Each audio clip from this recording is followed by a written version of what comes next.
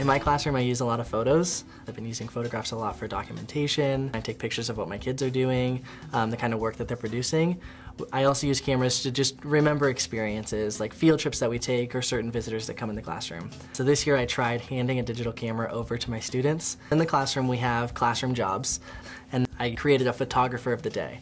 All right, so I need you guys' help to take care of our classroom today. Our light keeper, Melanie, Melanie. Our plant caretaker, Jonathan, Jonathan. Our photographer, Samantha, Samantha. So one student has their name put up by the photographer of the day. They're handed the camera upon arrival and they start taking pictures of whatever they please. They take a picture of their work, read aloud, story time, their playtime, recess.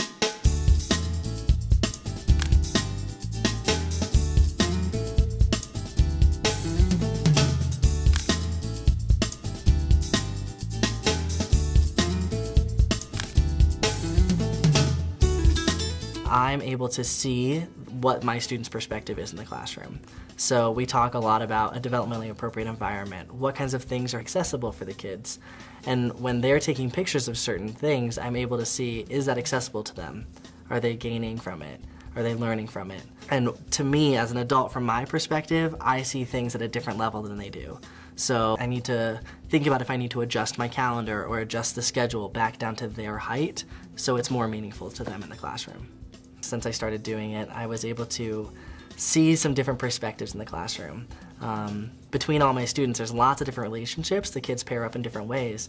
But in one example, there were two students that I didn't really see play together very often. It's not that they weren't friends, they just, they went different ways.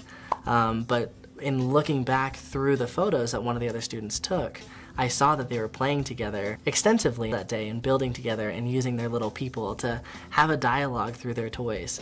And that was a good opportunity for me to see that they, they are playing together even though I don't see it all the time.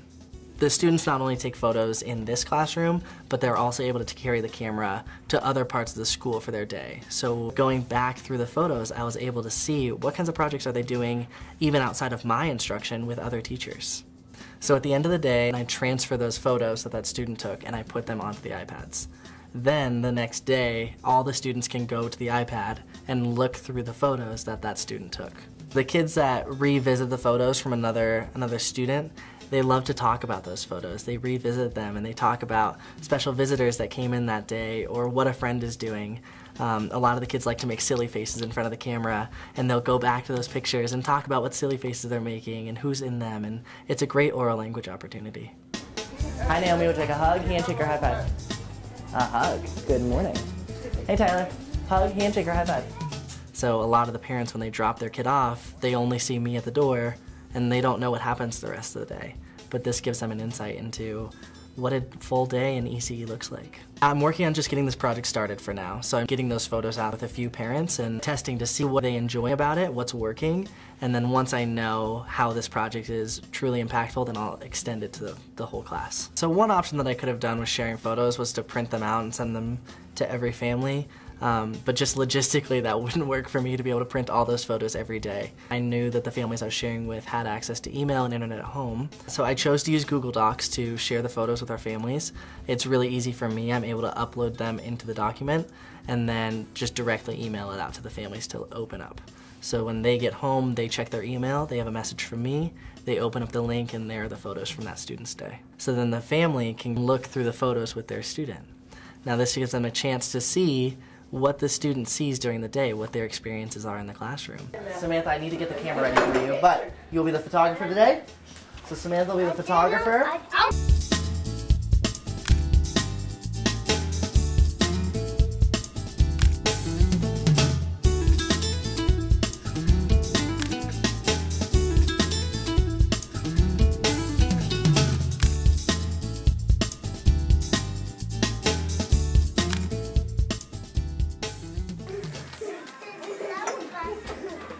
Samantha had the camera and she was taking some photos of her friends at snack time and she was giving them instructions of like, oh no, you sit here and you make a smile and now do this silly face. And so the three other girls were able to pair up and buddy up and Samantha took some really great photos of those girls. So it was great to see how these friendships are building and they're bonding through the photos. I have the Gmail app in my phone.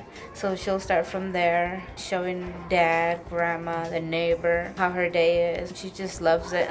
And she'll tell me like what they were doing or what she told them to do. There was one where one had a scary face and a funny face and she was like, I told them to do funny face. My younger daughter loves the fact that she'll soon go to school just by seeing Samantha doing the pictures. She's really excited about that.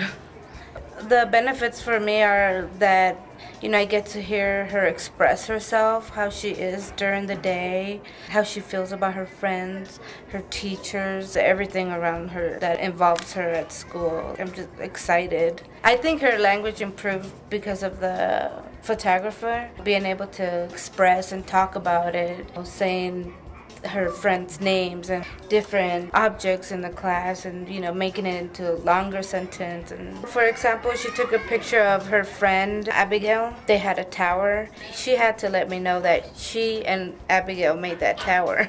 And she told Abigail to get behind it. She had two different poses of that picture.